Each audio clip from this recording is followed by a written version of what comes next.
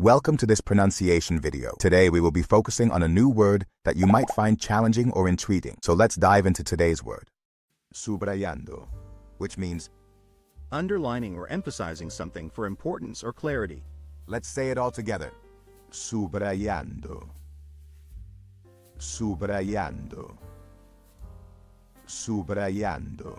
One more time. Subrayando. Subrayando. Subrayando. Thank you for joining us on this adventure in pronunciation. Remember, language is a journey, not a destination. Keep exploring, experimenting, and expanding your linguistic horizons. We'll see you next time.